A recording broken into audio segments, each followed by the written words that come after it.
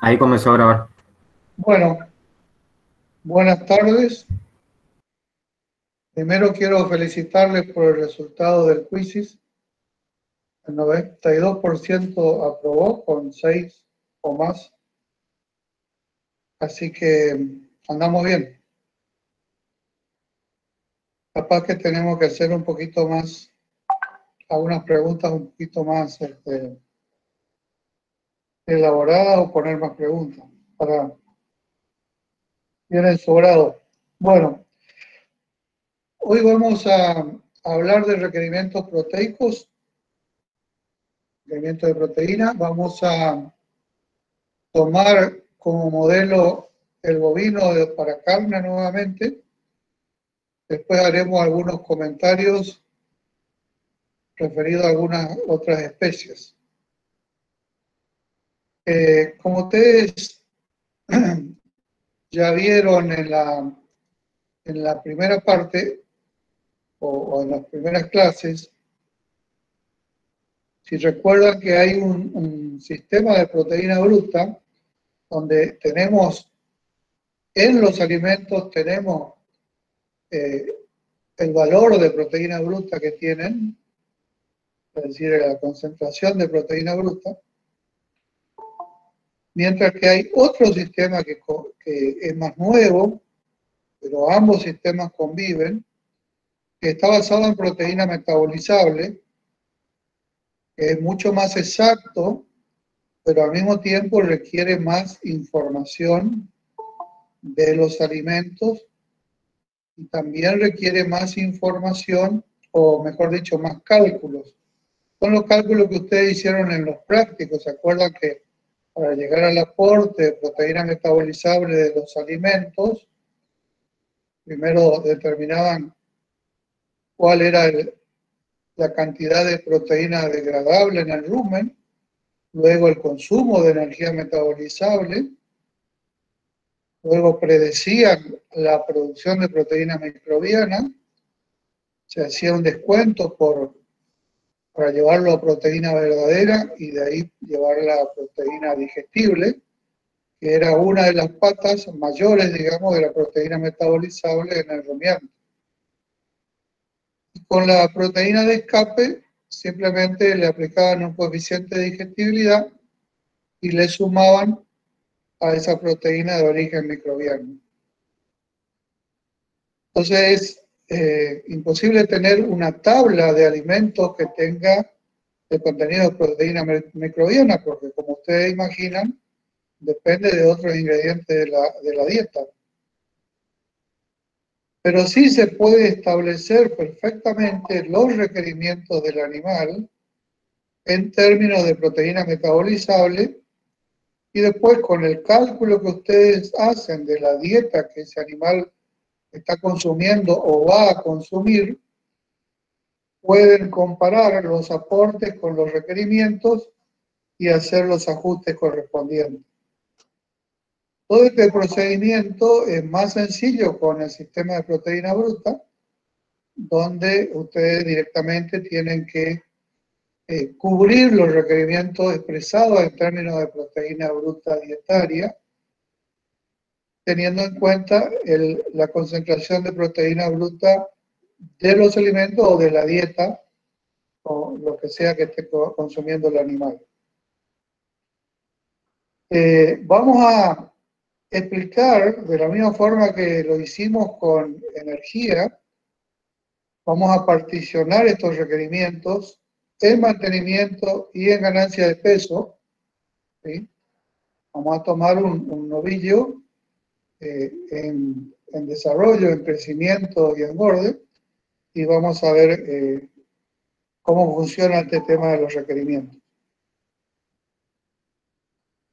Bueno, esto es lo que estaba diciendo, que simplemente para que lo, lo repasen, que es la proteína bruta, es la, la proteína metabolizable, y tener en cuenta que dietas con idéntica cantidad de proteína bruta ¿sí?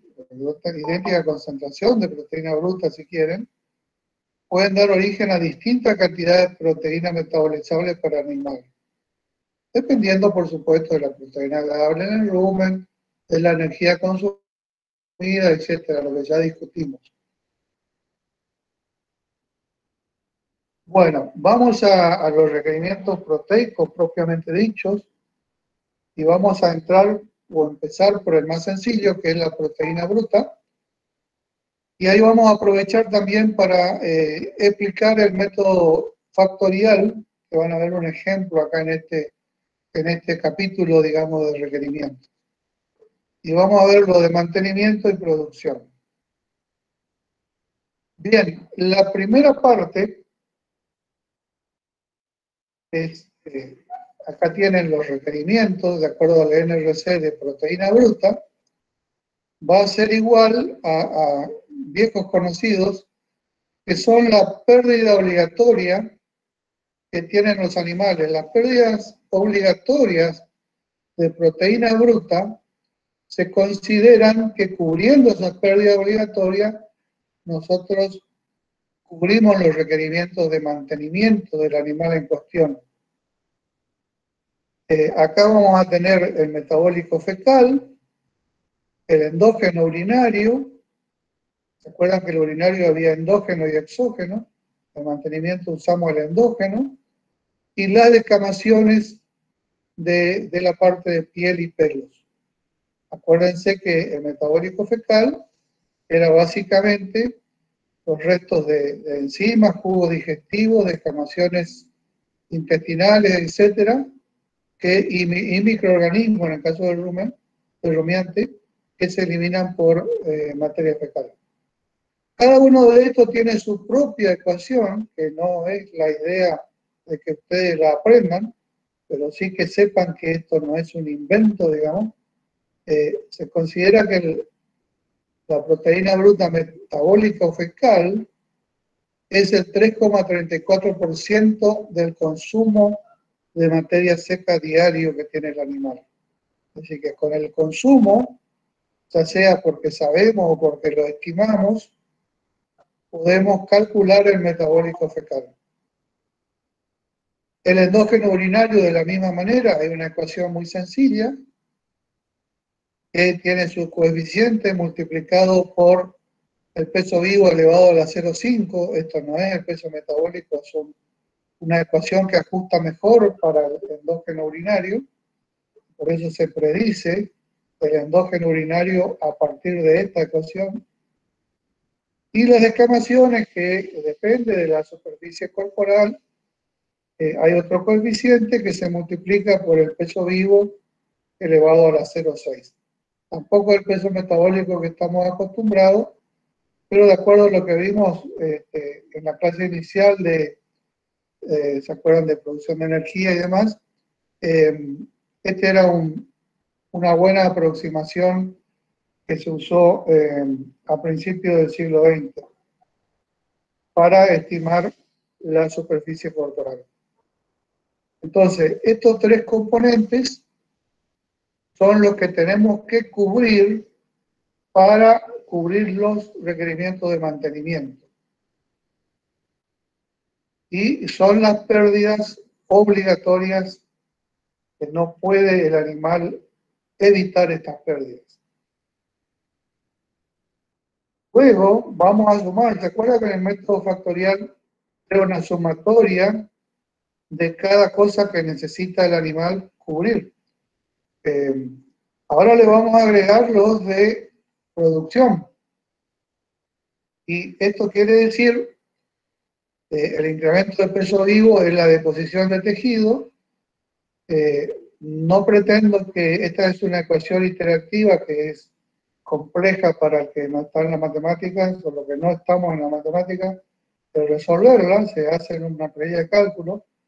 nosotros no le vamos a pedir que calculen esto, pero es el, incremento de peso vivo el que juega acá por la deposición de proteína, que esa deposición de proteína no es constante. Acuérdense que con lo discutido en, desarrollo y crecimiento, la ganancia de peso, la composición de la ganancia de peso varía con la tasa de ganancia de peso con el sexo, con el frame. Es decir, hay una serie de factores que intervienen acá en esta deposición de proteína. Después está la necesidad de gestación. Por supuesto que todo junto no va a estar, pero se usa en el caso que eh, el, requerimiento, el cálculo del requerimiento los, eh, los requiera, lo necesite, digamos. En el último tercio de la gestación, el NRC considera que hay que agregar 55 gramos por día. Los últimos tres meses, entonces, hay que agregar 55, 55 gramos de proteína bruta por día. Y en la lactancia, también siguiendo por supuesto el NRC, son 33,5 gramos de proteína bruta por kilo de leche producida. Así como habíamos visto, la demanda energética para producir leche por kilo de leche producida, acá también la unidad es gramos de proteína bruta por kilo de leche producida. Si un animal, un animal está en lactancia, eh, hay que agregarle este factor. Todos estos son factores, por eso lo llamamos método factorial. Esto que está en negritas, entonces, es las necesidades de producción, los requerimientos de producción. Pero ojo que estos requerimientos que estamos calculando acá arriba, en esta fórmula, son los requerimientos netos de proteína que necesita el animal para cubrirlos. Nos falta considerar algunas cosas que ya sabemos de la primera parte del curso. ¿Cuáles son esas cosas? Tenemos que considerar lo que llamamos ineficiencias que están ahí en el denominador y esas deficiencias, vamos a ver que son la digestibilidad, que no es 100%, es alta la digestibilidad de la proteína, la digestibilidad verdadera de las proteínas, pero es del 90%. Es decir, acá tenemos 0,9, que es lo mismo que decir 90%. Luego tenemos el valor biológico, promedio de lo que llega al intestino del animal, que es mayoritariamente un 70 o 80% en dietas típicas de pastoreo, es de origen microbiano, entonces se puede estimar un promedio con algo de proteína de escape que tienen esas dietas, que ese valor biológico es del 66%, o 0,66 en este caso. Y después tiene un, lugar para que nosotros podamos hacer algo. Estos son del año 1984. Todavía no se usaba el sistema de proteína metabolizable. Entonces lo que ellos llamaron, llamaron conversión ruminal de la proteína dietaria es simplemente la proteína que llega al rumen y la que sale del rumen. Cuando nosotros ponemos que ese valor es 1, consideramos que del rumen sale la misma cantidad de nitrógeno o de proteína bruta que entra con la dieta. Es un supuesto, a, falta de un mejor número en ese momento, lo pusieron en 1. Si nosotros, por ejemplo, alimentamos un animal con toda la parte proteica en forma de nitrógeno no proteico como la urea, sabemos que va a tener una eficiencia menor porque no se va a capturar todo el amoníaco que se genera a partir de la urea y probablemente ese 1 no sea 1 sino será 0,8, 0,7 porque va a haber amoníaco, es decir, nitrógeno en forma amoníaco que se va a absorber y va a pasar la circulación general, se va a convertir en urea y una parte de esa urea seguramente se va a perder en orina. Entonces, este número, para no complicarlo, lo dejamos en 1. Observen otro detalle acá. todo el numerador está sumado y todo el denominador está multiplicado. ¿Por qué? Porque las ineficiencias se potencian, no son aditivas, es decir, no basta con sumarlas, hay que multiplicarlas para ir este, potenciando esas ineficiencias. Cuando nosotros hacemos esta división, ponemos este denominador que toma en cuenta la digestibilidad y el valor biológico, básicamente son dos, centrémonos, convertimos todo este requerimiento neto al dividir por un número que seguramente va a ser menor a la unidad, este número acá se va a agrandar el resultado y esa es la proteína bruta que tenemos que poner en la dieta. Ya lo vamos a ver con un ejemplo.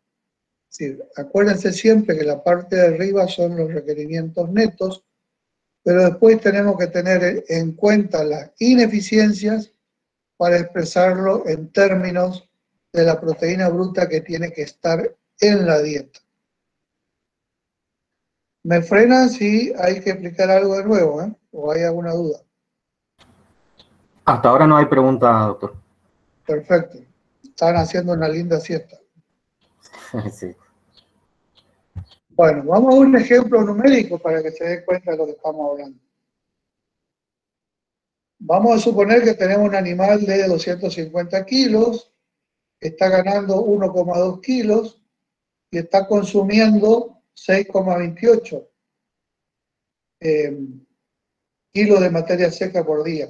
Todos estos datos son importantes porque tenemos que ponerlos en algunas de las formulitas subsidiarias que tenemos para calcular cada uno de estos factores. Como es un novillo,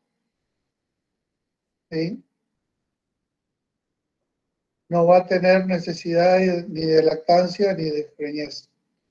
Y también, si tenemos la dieta definida en términos de energía, que es la que va a conducir o del cual va a depender la ganancia de peso, habiendo suficiente proteína en la dieta, esto va a determinar el ritmo de ganancia de peso,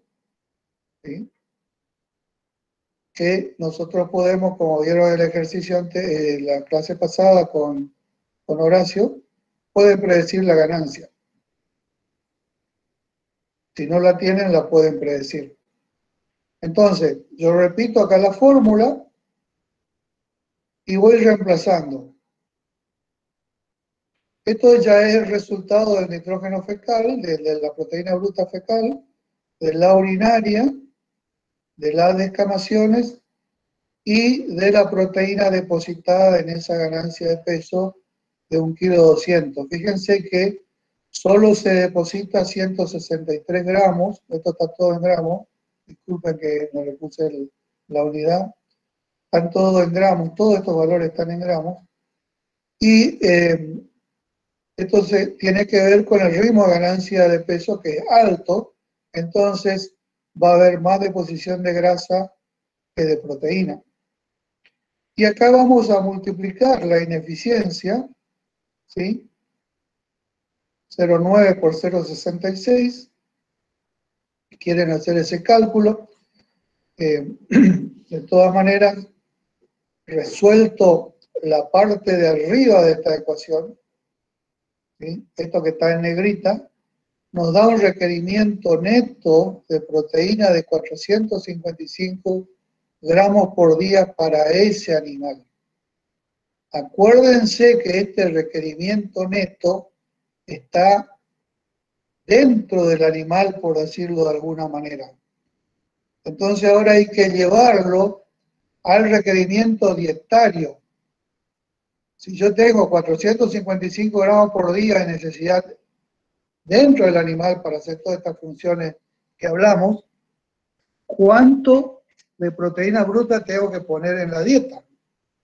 Y para eso tengo que dividir por estos factores de ineficiencia, está acá, es decir, estos factores de ineficiencia yo lo eh, acuérdense que eran 455 el resultado de esto, y 0,9 multiplicado por 0,66 y por 1 me da 0,594. Esa es la, pueden definir ahí, esa es la eficiencia con que la proteína bruta está en la dieta, se transforma en proteína neta en el animal. Entonces, cuando lo dividimos por esa, si quieren llamarlo eficiencia, ineficiencia, es indistinto porque de acuerdo de dónde lo mire, los, esos 455 gramos neto que necesita el animal, dividido la eficiencia, me da 766 gramos por día. Entonces, el requerimiento dietario de ese animal es de 766 gramos por día en la dieta. A no confundir la proteína neta que necesita con la proteína que ustedes le tienen que poner, la proteína bruta que ustedes le tienen que poner en la dieta para poder cubrir estos 455 gramos. La otra expresión que pueden tener, conociendo el consumo en este caso, es la concentración de proteína bruta en la materia seca.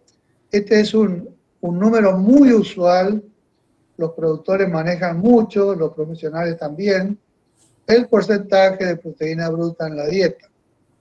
Eso sale de conocer el requerimiento dietario y el consumo de materia seca. Cuando resolvemos ese porcentaje nos da 2,2% de proteína bruta en la materia seca de la dieta, pero siempre y cuando el consumo sea este que tenemos acá, 6,28 kilos de materia seca por día. Si nosotros variamos este consumo, seguro va a cambiar este porcentaje de proteína bruta en la materia seca de la dieta. Lo que ustedes van a ver en las tablas de requerimiento de proteína bruta va a ser este número, sacado de esta manera. Si ustedes buscan en la, en la tabla un animal de 250 kilos que gana 1,2 kilos por día, se van a encontrar que la tabla le dicen que van a necesitar 766 gramos por día en la dieta. Y esos 766 gramos incluyen mantenimiento y producción. Está todo junto en este caso. Es un solo número que le cubre ambos eh, requerimientos, mantenimiento y producción. Doc. Sí. Hay una alumna pregunta de dónde sale los 43,5 que tiene ahí en la fórmula, que crees que creo que es urinario. Ya te digo, el 43,5 sale resolviendo esta ecuación. Yo no le quise complicar, por eso le puse el resultado directamente. Es 275 por el 250 le a 0,5. Ese le va a dar el número del endógeno urinario. que había hace, un rato le habían nombrado. Eh, el metabólico fecal va a ser esta otra ecuación y las decamaciones va a ser esta otra.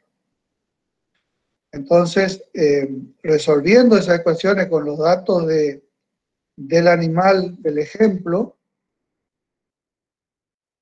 da estos valores que vimos acá. Este sería el metabólico fecal, este sería el urinario. ¿sí? Este sería de las descamaciones y este es de la ganancia de peso, la proteína depositada en la ganancia de peso. ¿Sí? La sumatoria de todos estos números me da 455 gramos por día. Bien, gracias, Doc. Bien. Seguimos entonces, veamos un ejemplo. Esto que yo le expliqué es para que ustedes sepan de dónde viene el número que está en la tablita que van a mirar. Eh, acuérdense que cuando estamos hablando de proteína bruta están cubiertas las dos, los dos requerimientos. La tabla le dice los dos requerimientos juntos. La otra cuestión que quiero llamar su atención es que si vemos los requerimientos de proteína bruta dietaria, en este caso ya tenemos los valores de tabla, digamos, en gramos por día, para una misma ganancia, nada más que 200 gramos o 0,2 kilos, para animales de distinto peso vivo, de 200 hasta 400, la forma en que se mueve esos requerimientos son estos. Es decir, un animal de 200 kilos requiere 399 gramos de proteína bruta por día para esa ganancia de 0,2, mientras que un animal de 400 gramos para la misma ganancia no requiere el doble, requiere solamente 590 gramos de proteína bruta por día. Porque nuevamente acá tenemos ecuaciones que no son lineales. Entonces nosotros no podemos decir que porque es el doble del peso va a requerir el doble de proteína. No, es bastante menos. ¿Mm? Aparte, acuérdense que acá también juega ese depósito de proteína en la ganancia de peso. A medida que el animal es más pesado, menos proporción de proteína se va a depositar en un kilo de peso. ¿Se entiende esto, no es cierto?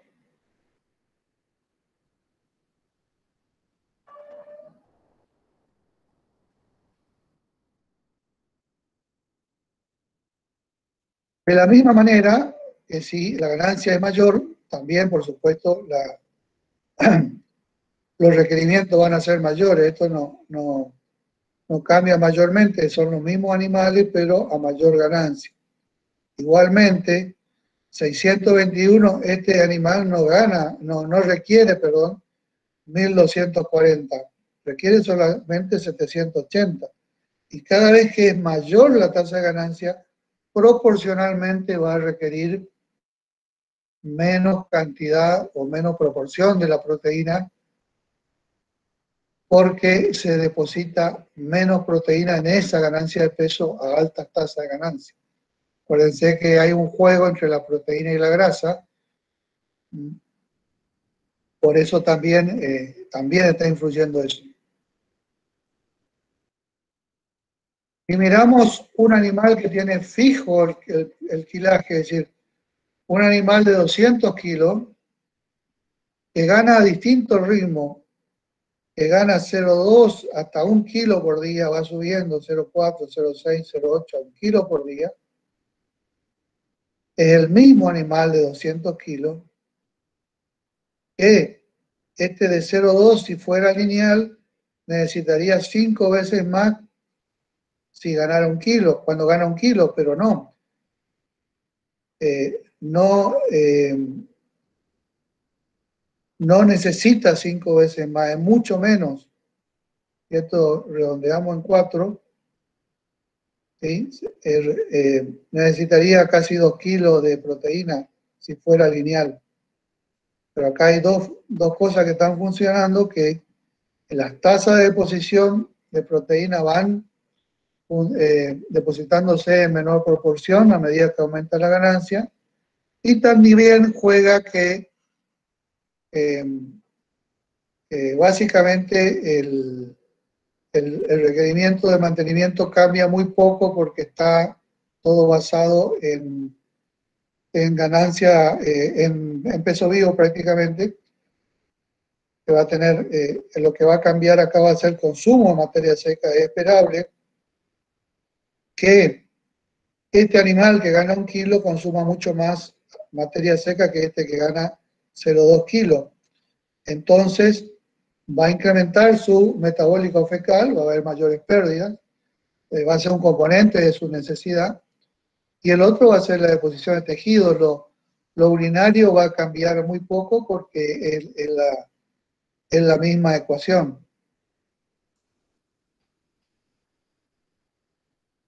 Esto es importante que lo reconozcan que no hay linealidad acá, no, no. Nuevamente, como en el caso de energía, no se puede hacer una, una regla 3 simple para calcular el requerimiento de otro animal.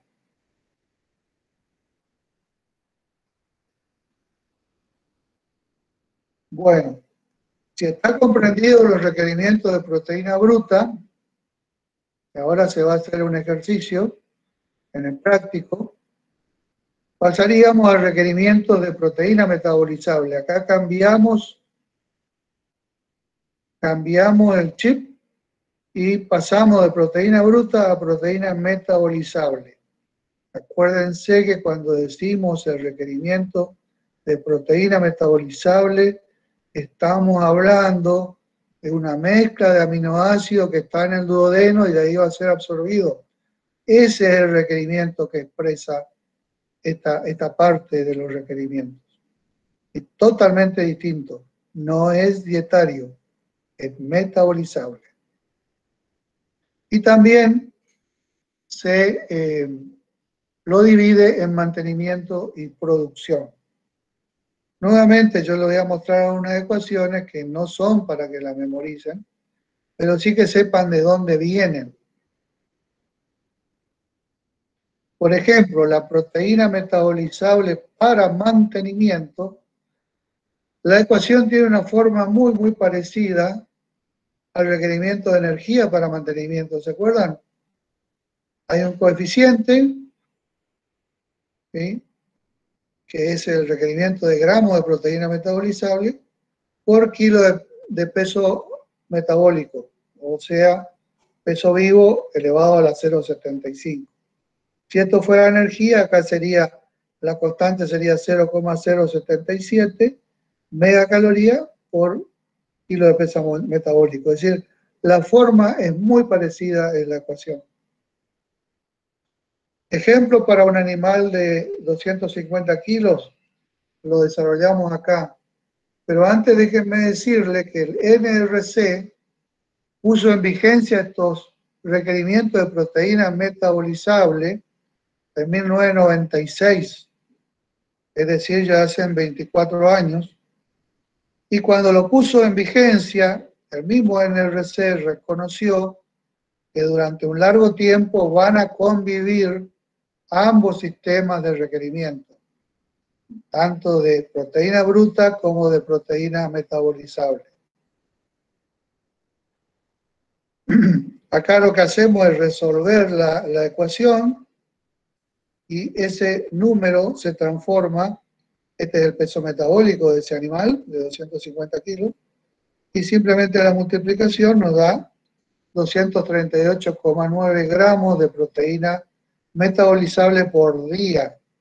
Es decir, eso tiene que estar en el duodeno para, en condiciones de absorberse, tiene que ser proteína verdadera, digestible, y tiene que estar ahí en ese lugar.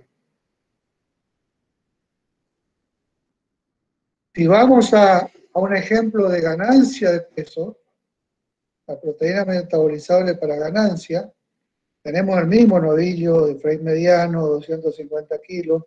En este caso gana un kilo 200 también por día. Y simplificando las, ecuaciones del NRC le queda esto, que el dato que le está pidiendo es la ganancia diaria, el peso vivo y el peso vivo al cuadrado, y de nuevo acá le pide la ganancia diaria. Es decir, que no le está pidiendo nada misterioso para resolver esta ecuación.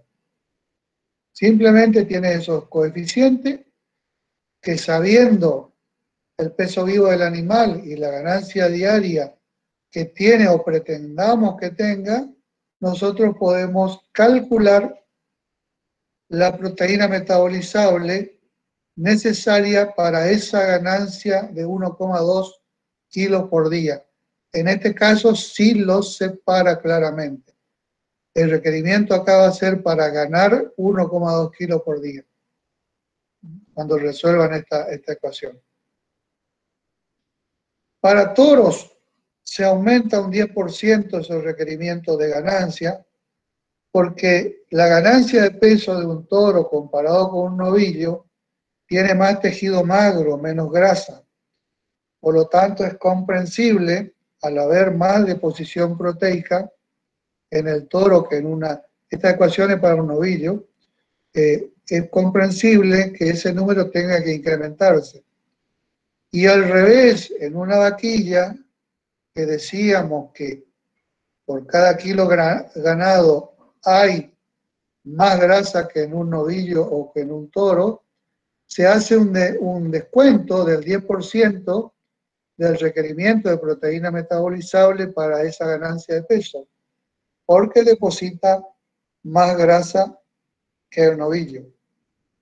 Entonces, como consecuencia, deposita menos proteína. Para lactancia, si el animal está produciendo leche, las necesidades van a ser de 44,7 gramos de proteína metabolizable por kilo de leche producida. ¿Sí? Entonces, eh, acuérdense que estamos hablando de proteína metabolizable.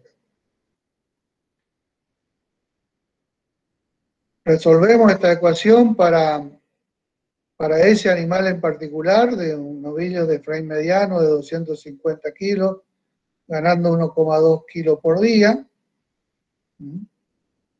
Se lo resuelve y eh, el, el resultado son 296,55 gramos por día de proteína metabolizable para esa ganancia. Luego, ¿qué hacemos? Esto sí, no hay problema. Se pueden sumar porque están expresados en proteína metabolizable en ambos casos. Y yo lo que estoy calculando es cuánto se va a usar para el mantenimiento y cuánto para ganancia, pero esa eh, proteína metabolizable está a nivel de intestino delgado. Y la suma de eso me da 536 gramos por día. Eso es, menor que el requerimiento de proteína bruta para el mismo animal, porque lógicamente ya es proteína que está en condiciones, es una mezcla de aminoácidos en realidad, que está en condiciones de ser absorbida. Cuando calculábamos en proteína bruta, era la cantidad que estaba en la dieta, todavía tenía que sufrir los procesos de, digestión, etcétera. Y entonces es, este, por supuesto, es mayor lo de eh, proteína bruta. Pero ambos son equivalentes. Y miramos, resumiendo estos dos sistemas juntos. Nosotros teníamos que la proteína neta necesaria, ¿se acuerdan? Era de 455 gramos por día, cuando calculábamos la proteína bruta en requerimientos. Por lo tanto, teníamos que, este es el mismo animal de 250 kilos para que se ubique. La, la proteína bruta en la dieta debe ser de 766, 766 gramos por día para cubrir este requerimiento neto del animal de 455. Si hacemos directamente el cálculo en términos de proteína metabolizable, sumamos mantenimiento más ganancia, para la misma ganancia que estamos calculando, me da 536 gramos por día. Lógicamente me da algo intermedio entre la neta y la dietaria. Y es intermedio porque si bien esto está en condiciones de ser absorbido, Todavía tenemos que poner en juego el valor biológico, por ejemplo, para ver cuánto de eso se retiene. estos números, sobre todo estos dos primeros, no tienen nada que ver con este otro que está acá. Este sí tiene relación, el de 766, tiene íntima relación con este requerimiento neto de 455. Pero esto es un método de cálculo completamente distinto para la proteína metabolizable. Así que no quieran eh, mezclar ni comparar. Yo le pongo junto acá a los efectos ilustrativos para que ustedes vean todo en un mismo lugar, requerimientos calculados de distinta manera para el mismo animal con la misma ganancia de peso. ¿Sí? ¿Vamos hasta allí? Si el animal, por supuesto, está eh, produciendo leche, hay que agregarle esa cantidad que le mostré. Y también está el requerimiento para gestación, que creo que acá no lo tengo, pero está también la ecuación para eh, gestación.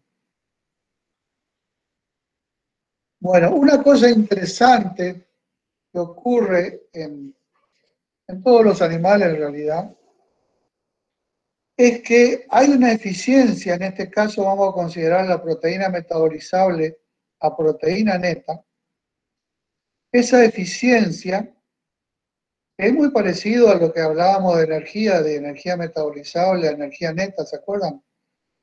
Bueno, eso tiene una eficiencia también, esa transformación de cuánto de la proteína metabolizable realmente se va a usar como proteína neta, tiene una particularidad, que el animal más joven es más eficiente que el animal eh, más adulto, digamos. Y esto lo vemos teniendo en cuenta para crecimiento, por ejemplo, esa eficiencia es del 72% para un animal de 100 kilos, esto es un bovino para carne, ¿eh? de 66,3% para un animal de 150 kilos y solamente de 49,2% para uno de 300 kilos. Es decir, que el animal en crecimiento tiene mecanismos metabólicos para usar más eficientemente esa proteína metabolizable que absorbe. Y la eficiencia, tanto para lactancia como gestación, es del 65%. Tienen una eficiencia muy parecida, entonces se pone en un número redondo que es 65%. Es decir, toda proteína metabolizable absorbida para lactancia y o gestación se va a usar con una eficiencia del 65%.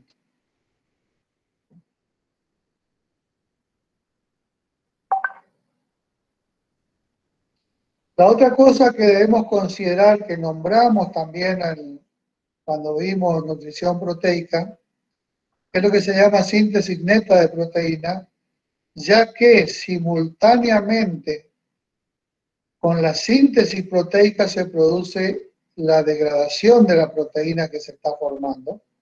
Esos son procesos que en el día ocurren simultáneamente. Y cuando hablamos de síntesis neta de proteína, Estamos hablando del resultado de la tasa de síntesis y de la tasa de degradación de esa proteína que se está sintetizando. Por supuesto que no es la misma que se está sintetizando, sino una degradación de la, de la proteína, del pool de proteína que hay en ese tejido, que se degrada con una tasa determinada. Para que ustedes tengan una idea, un novillo de 500 kilos de peso vivo y repito, un novillo de 500 kilos de peso vivo, hace una acreción neta diaria de proteína para la ganancia de peso que se estudió, es alrededor, si no me falla la memoria, me olvidé de poner acá, es alrededor de medio kilo por día.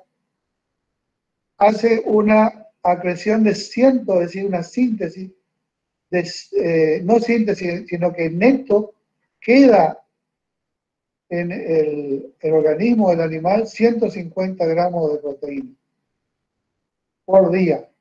Pero para que eso ocurra, fíjense la cantidad de proteína que tiene que ser sintetizada para contrarrestar la degradación y que nos quede un saldo positivo de 150 gramos de proteína. Se tiene que sintetizar 2 kilos 550 gramos por día para que nos quede de saldo estos 150. Porque la degradación es muy importante. Esto estamos hablando no del músculo, sino de todo el animal. Y se acuerdan que hay tejidos, órganos y tejidos metabólicamente muy activos que tienen alta tasa de recambio. Típicamente el de mayor tasa de recambio es la mucosa gastrointestinal, donde hay una síntesis muy grande eh, por día y una degradación.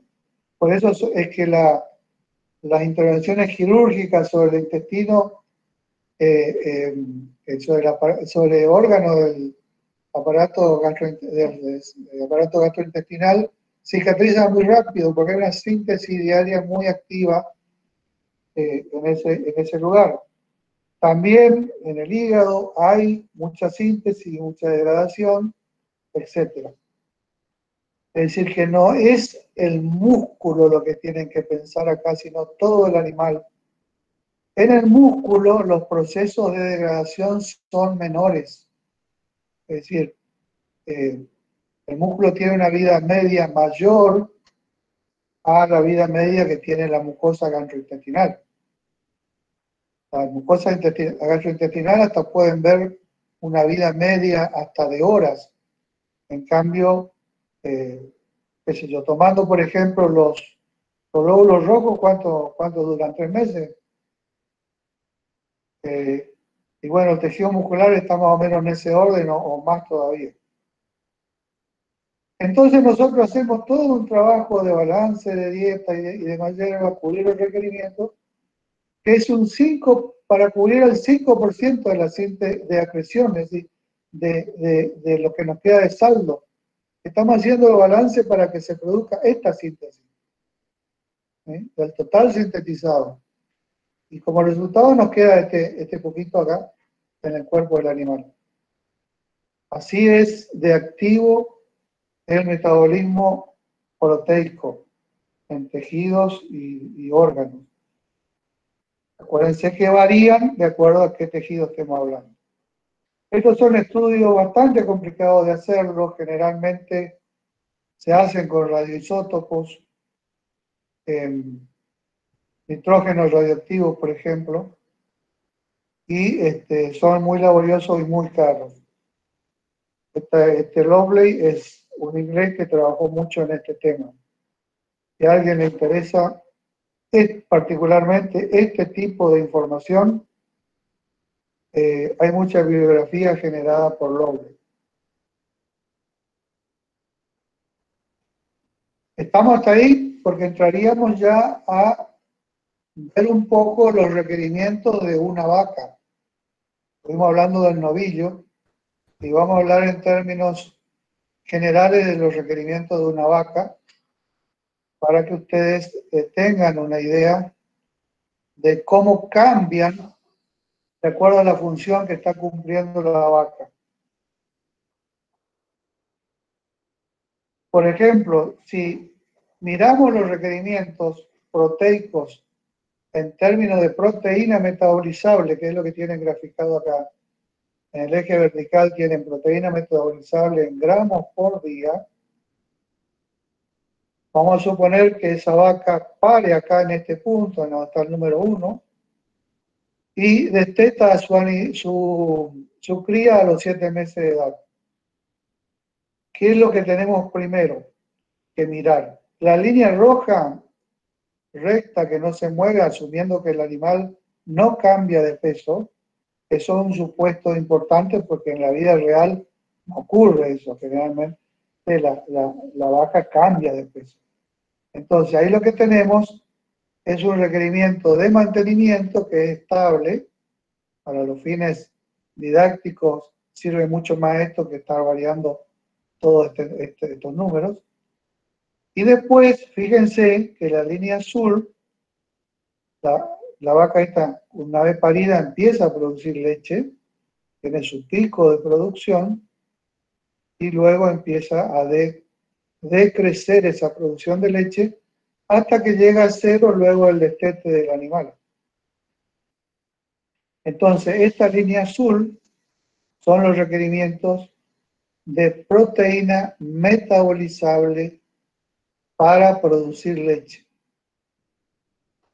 Para compensar la proteína que se excreta, pero mejor dicho, se secreta con la leche.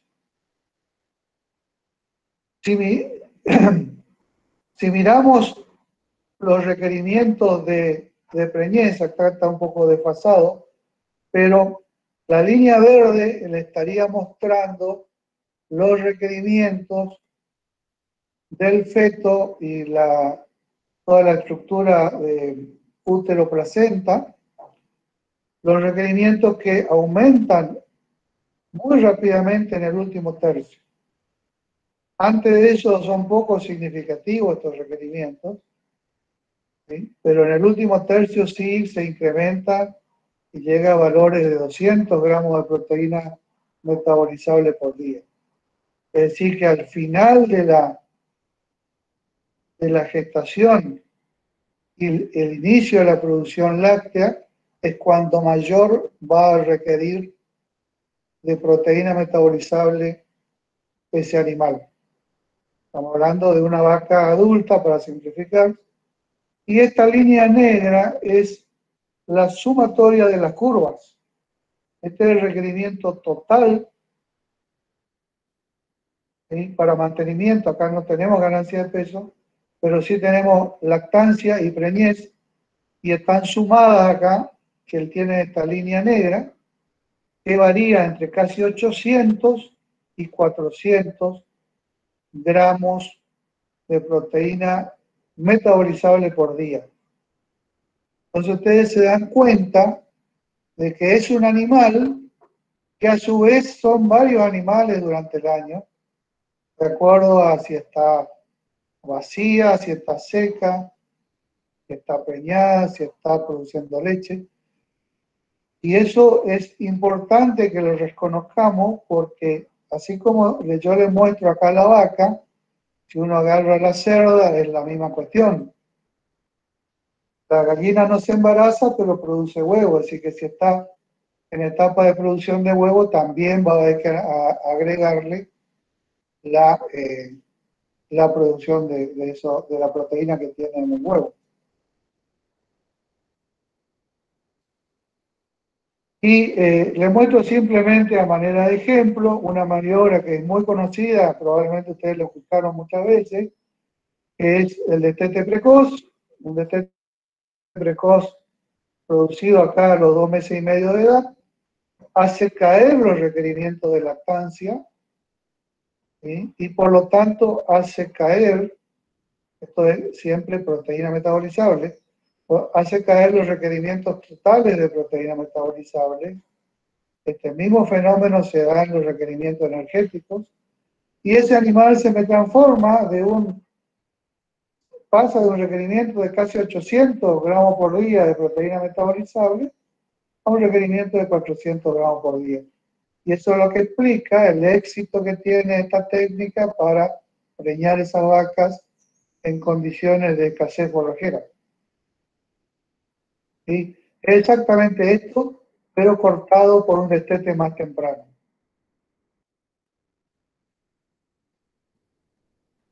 Bueno, la otra forma que ustedes tienen y que lo van a usar sin ninguna duda, son, eh, necesitan algunas guías generales del sistema anterior, del sistema de proteína bruta. Esto es, eh, eh, muchos productores manejan esto y, por lo tanto hay que, hay que conocerlo. Son requerimientos aproximados de proteína bruta como concentración en la materia seca. Acuérdense, como concentración en la materia seca, de tal manera que acá detrás de esto, que ustedes no lo ven, hay un supuesto de consumo de materia seca por día. De lo contrario, sería imposible expresar en términos de concentración de proteína estos requerimientos de proteína bruta. Hay un supuesto, entonces, de consumo por día. Supongamos, antes de entrar en detalle de esto, que una vaca adulta consume en promedio 10 kilos de materia seca por día y tiene un requerimiento de 8 a 9%, por, eh, a 9% de proteína en esa materia seca, en esos 10 kilos, si esa vaca no tiene los 10 kilos para comer, porque hay poco pasto, etcétera, y en vez de comer 10 kilos, come 6 kilos, por ejemplo, que son situaciones muy comunes en el campo, cuando hay poco pasto, y una situación como la de este año, que directamente no hay pasto, queda totalmente invalidado ese porcentaje en la dieta. Ese porcentaje en la dieta, si queremos que cubrir los requerimientos proteicos, tendrían que ser mayores en porcentaje de la materia seca. Es decir, que nunca se olviden, yo les muestro esto, pero nunca se olviden de que acá detrás hay un supuesto de que el animal está cubriendo sus necesidades de consumo de materia seca, o dicho en otras palabras, si ustedes prefieren, está cubriendo sus necesidades energéticas. Dicha esta declaración, vemos que una vaquilla preñada, por ejemplo, preñada chica, eh, necesita de 9 a 10% de proteína bruta en la dieta. Esa misma vaquillona, una vez parida, primípara, es decir, tiene su primer parto, asumimos que consume 5 litros de leche diario, va a necesitar 11 a 12% de proteína bruta en la dieta Además de aclararle que va a tener que comer más porque está produciendo leche. Va a tener mayores requerimientos de energía también. Una vaca adulta preñada necesita un poco menos que la vaquillona preñada porque simplemente esa vaca adulta ya está desarrollada y esta vaquillona tiene que completar su desarrollo todavía. Todavía no es un animal adulto, probablemente le falte ganar un, 20% de, de, su peso adulto todavía, es decir, que todavía va a necesitar más porque también, eh, además para el feto, necesita para crecer ella, además del, mantenimiento. Si esa vaca adulta pare y empieza a producir estos 5 litros de leche diario, esto está más a modo de ejemplo, simplemente, va a requerir de 10 a 11% de proteína bruta en la dieta. Y lo que dice acá es lo que yo le estuve explicando. Se asume que la vaca cubre su requerimiento energético, que consume la cantidad necesaria de materia seca para cubrirlos. Si eso no se cumple, todos estos números no valen. ¿Estamos en claro acá? Esto es una guía que les puede servir en la práctica después. Guárdenla porque ustedes van a mandar a analizar por ahí un heno, por ahí un silo, por ahí un, pasto, le van a decir tiene tanto por ciento de proteína bruta y ustedes tienen que tener una idea para el animal que lo están destinando si le sirve o no le sirve ese recurso forrajero. O si tienen que suplementarlo. En otra clase, en otro momento, más adelante vamos a hablar de suplementación. Bien, eh, esto con respecto a, al ejemplo que venimos desarrollando desde el comienzo de la clase de bovinos de actitud carnicera. Ahora, si cambiamos de especie y vamos a un cerdo o a un ave, por ejemplo, a un no rumiante, acuérdense que una de las aplicaciones más recientes de, del requerimiento era expresarlo como proteína ideal, que no es otra cosa que esto que ya vieron, que las proporciones de aminoácidos en la dieta se correspondan con los requerimientos del animal en cuestión. Y digo del animal en cuestión porque no hay una sola proteína ideal para una especie. Hay proteína ideal para distintos momentos. Nosotros habíamos dicho, por ejemplo, que hay una proteína ideal para una cerda en gestación, otra distinta para una cerda en lactancia, otra distinta para un lechón, otro para un capón en engorde, etc. De la misma manera que en eh, aves, en distintas etapas de crecimiento es distinto y, por supuesto muy distinto si está produciendo carne o está produciendo huevo. Eh, el concepto detrás de proteína ideal es que la retención de proteína es la máxima posible, y entonces la excreción de nitrógeno es mínima. El nitrógeno urinario va a ser mínimo, eh, entonces vamos a tener menos contaminación. Es decir, esto entra dentro del concepto que se llama también eh, nutrición de precisión, así como hay una agricultura de precisión, tenemos que ir propendiendo hacia, hacia una nutrición de precisión. Y estos sistemas de producción de cerdo y aves, que son intensivos y en confinamiento, se prestan muy bien para hacerlo porque lo que consume el animal es lo que nosotros le damos.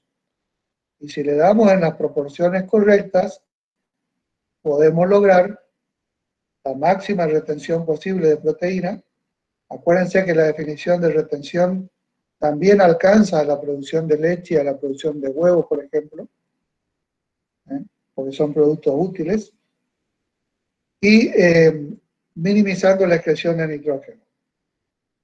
Y acuérdense de aquella clase que, que le habrá costado un poco, implica conocer la digestibilidad verdadera de los aminoácidos y también tener experiencia o conocimiento, mejor dicho, del uso de aminoácidos sintéticos para agregar en cantidades precisas de los aminoácidos que están faltando.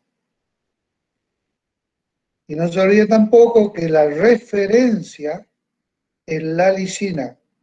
La lisina le damos un valor 100 y todos los demás aminoácidos están en proporción o en porcentaje, si quieren, de la lisina. Establecemos el requerimiento en, términos sintéticos, en términos breves, digamos, el requerimiento de la lisina, cuánto requiere de lisina, eso le llamamos el 100%, y el resto de los aminoácidos de esa proteína ideal, ¿sí? lo calculamos de acuerdo al requerimiento de cada uno, en función de la lisina. Y es como que tenemos armada la proteína ideal y solamente lo que tenemos que balancear es lisina, porque el resto se balancea solo. Si ya tenemos armada la proteína ideal en la dieta, lo único que tenemos que balancear es la lisina. Simple ejemplo de eh, perfil ideal de aminoácido para hacerla, dice el NRC acá. Lisina siempre lo van a ver en 100 para lactancia y gestación. Ven que hay aminoácidos que varían completamente distintas. Esta, si queremos llamarle esta proteína ideal, es distinta de esta otra proteína ideal. Y también repito esto que habíamos ya dicho, que teniendo en cuenta los requerimientos y aportes proteicos, lo que queremos hacer en no rumiantes es cubrir los requerimientos de aminoácidos esenciales con la menor cantidad de proteína dietaria posible. Eso requiere precisión en el cálculo de los aminoácidos. Para nuevamente, insisto con esto, minimizar la excreción de nitrógeno en el ambiente. También es importante que haya fuentes de nitrógeno provenientes de otros aminoácidos que no sean esenciales para poder sintetizar esos aminoácidos no esenciales a partir de otros aminoácidos. Porque si no tenemos los grupos aminos, tampoco va a ser factible esos aminoácidos no esenciales. Es decir, que hay un requerimiento de compuestos nitrogenados que no es alto, pero que es necesario que esté, además de los aminoácidos esenciales. Porque ese cálculo sobre aminoácidos esenciales está basado en que hay una síntesis eh, adecuada a lo que requiere el animal de los aminoácidos no esenciales. ¿Se entiende? Antes, eh, antes quiero decir en el tiempo, es decir, anteriormente a las definiciones más precisas, cuando nos faltaba algún aminoácido esencial, lo que hacíamos, es decir, que algún aminoácido esencial nos falta, estamos hablando de un aminoácido limitante. Supongamos que sea solo uno. Entonces, ¿qué hacíamos para incrementar la cantidad que, tendría que consumir el animal? Simplemente incrementábamos el aporte de proteína bruta. Va a llegar un punto en que lo vamos a cubrir la necesidad de, vamos a cubrir la necesidad de ese aminoácido limitante. Pero ¿qué pasa? no es conveniente porque nos va a sobrar un montón de los otros aminoácidos que estaban en cantidad adecuada y que yo al levantar la cantidad de proteína bruta le estoy dando un exceso y ese exceso va a ser mayor cantidad de nitrógeno excretado, además del costo energético del metabolismo para la síntesis de urea. Es costosa la síntesis de urea se usa ATP para la síntesis de urea. Entonces, se hace ineficiente también la alimentación general del animal. Acuérdense que se pueden mezclar proteínas que son las llamadas proteínas complementarias para que un alimento cubra los requerimientos de un aminoácido que esté en déficit o esté ausente en otro alimento eso se llaman eh, alimentos complementarios, proteínas complementarias. Y también acuérdense de la existencia de los aminoácidos sintéticos o cristalinos. Eso se puede echar mano para mejor balance de la dieta. Y hay programas, incluso modelos, que integran los aportes y los requerimientos y nos hacen más sencilla la vida.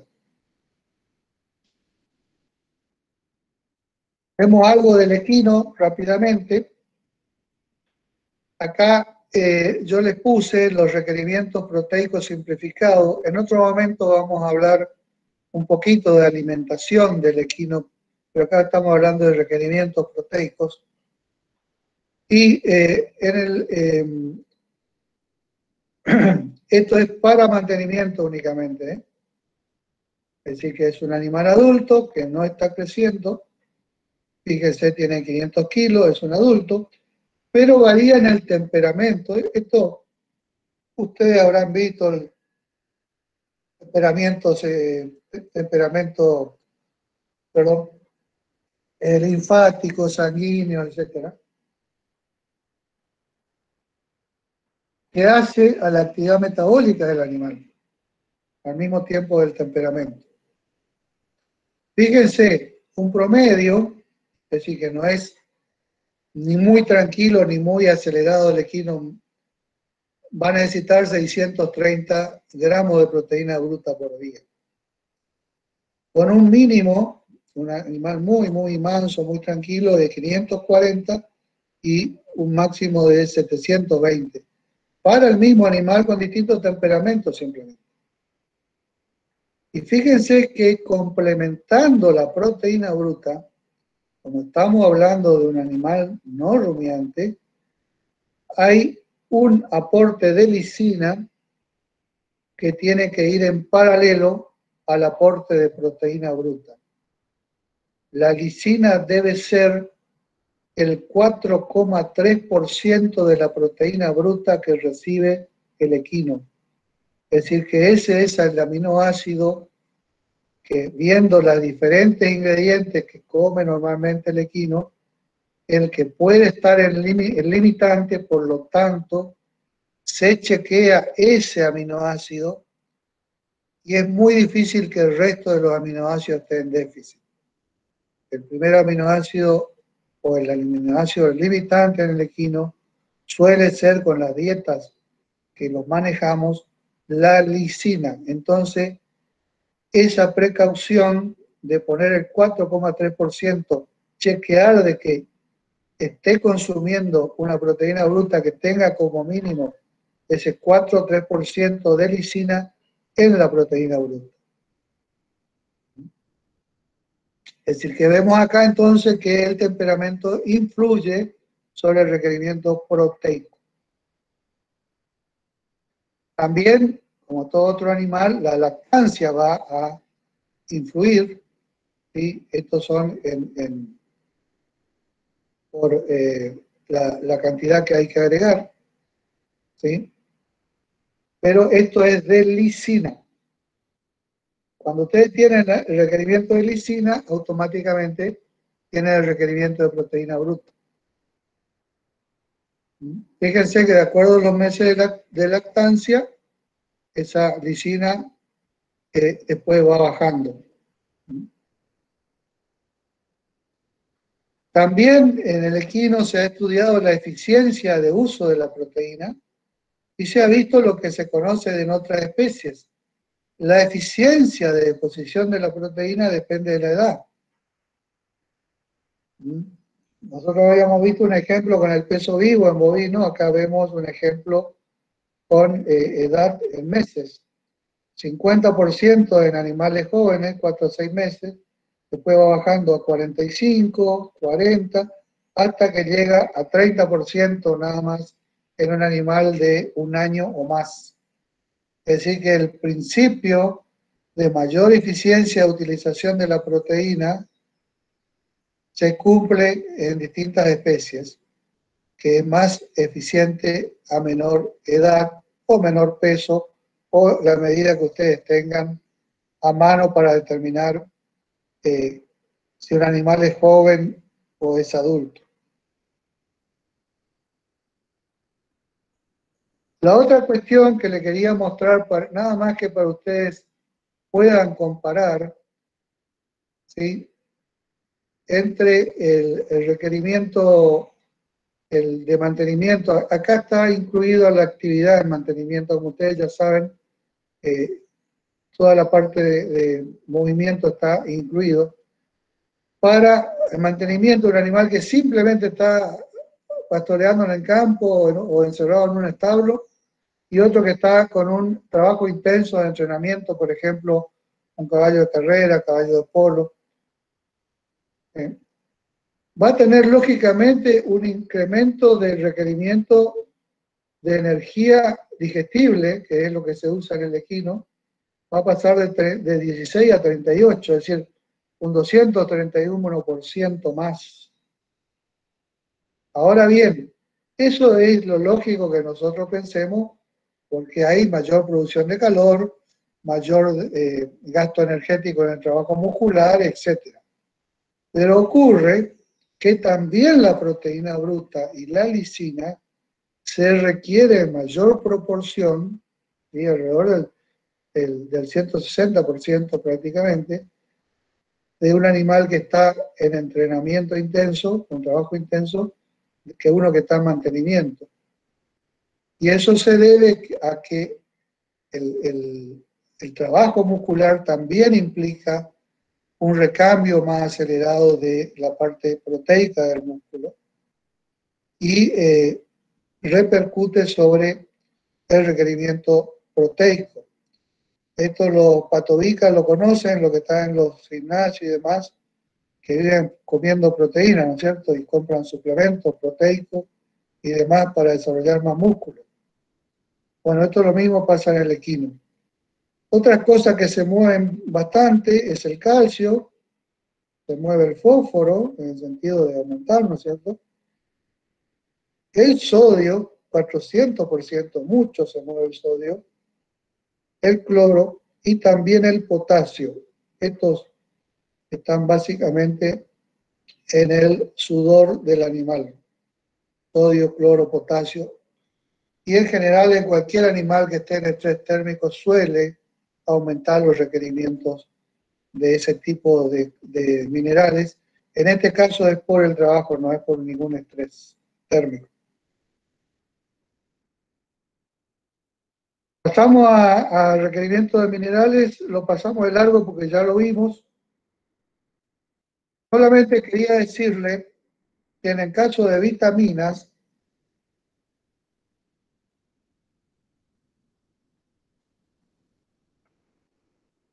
por ejemplo, la vitamina A se expresa en unidades internacionales por kilo de peso vivo, ahí la unidad internacional está definida para cada vitamina de estas liposolubles.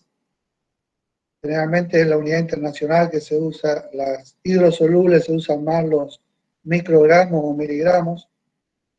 Pero fíjense que en este ejemplo del ternero que está acá, si nosotros tomamos distintos criterios de requerimiento, es decir, uno es para prevenir la ceguera nocturna, otro es para tener un crecimiento óptimo, el otro es para completar el órgano de reserva que es el hígado, para que ese órgano de reserva esté al máximo. Otro requerimiento sería, otro criterio, es el nivel eh, sanguíneo de vitamina A. Los requerimientos cambian con los criterios. Esto es muy común en el tema de vitamina. Acá, ahora que está muy de moda también, este, o se sabe más, ¿no? no es que está de moda, sino se sabe más de la respuesta inmunitaria, también se sabe que muchos minerales y vitaminas que intervienen en la respuesta inmunitaria son requeridas en mayor proporción, en mayor proporción, repito, que para un crecimiento óptimo, por ejemplo, o preservar en general las funciones normales. En la respuesta inmunitaria hay otras cuestiones que ocurren, funciones antioxidantes, algunas, en algunas veces eh, en los mecanismos de la inflamación, donde hay eh, un requerimiento mayor de este tipo de eh, nutrientes, especialmente vitaminas y minerales.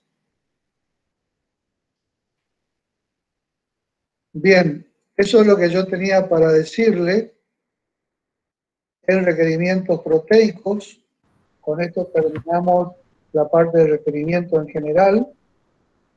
Eh, más adelante, luego de que aprendamos a balancear dietas, vamos a ver en distintas especies algunos ejemplos de alimentación y por supuesto, si vamos a ver ejemplos de alimentación, indudablemente que algo de requerimientos vamos a volver a dar. Si hay preguntas, eh, la hacen o la hacen ahora a la entrada al práctico, como quieran, pero eh, esto es lo que van a tener de requerimientos en general. No van a tener otra clase así de requerimientos solamente.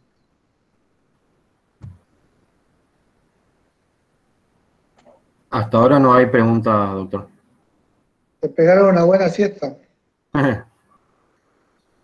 bueno. Ahí hay una pregunta. Bueno.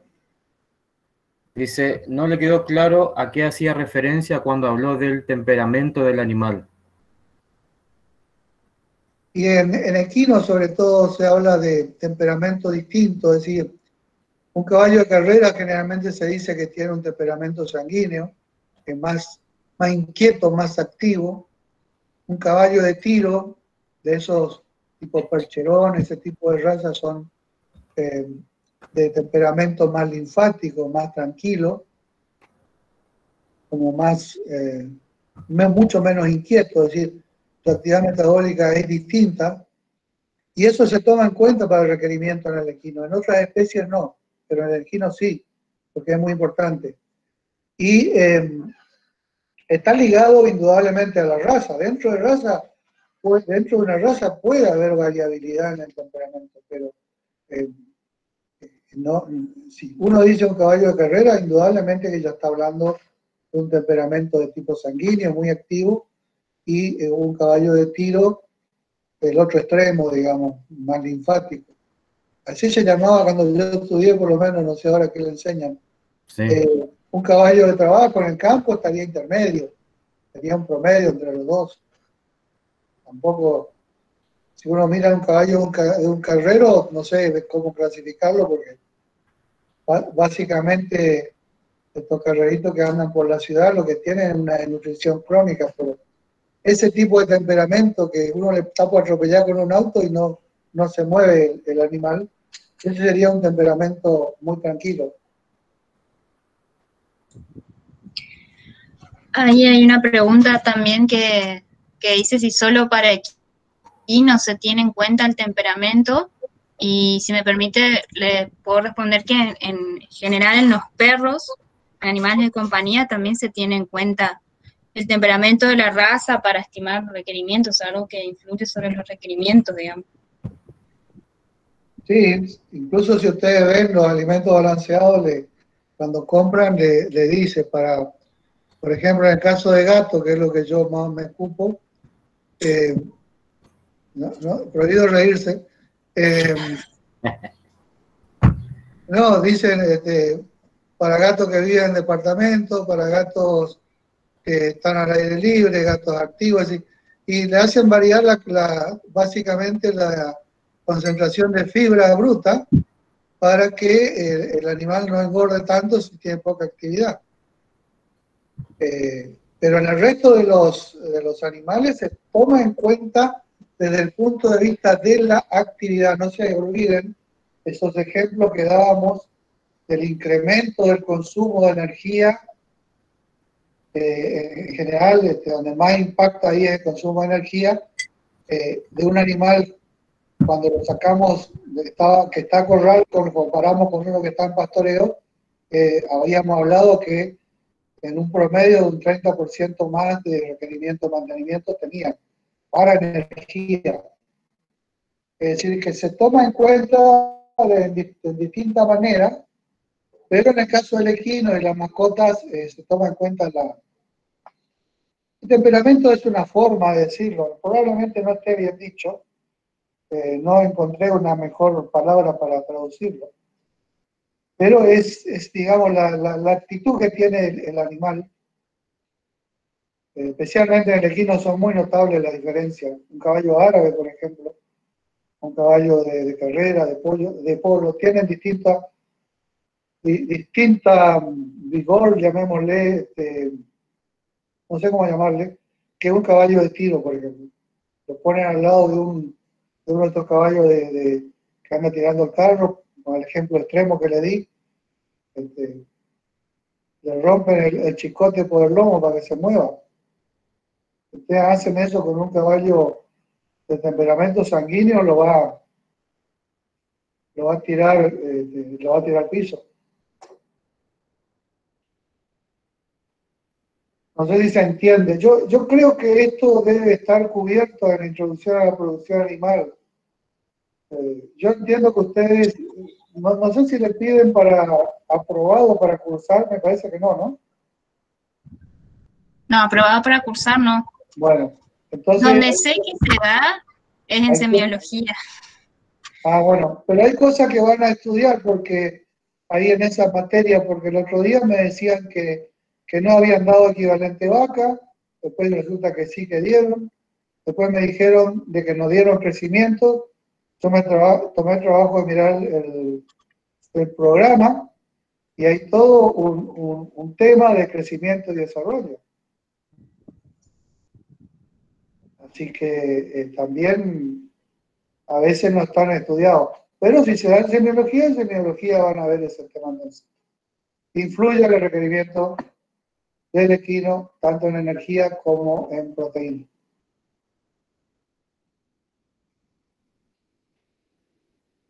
¿Alguna otra pregunta?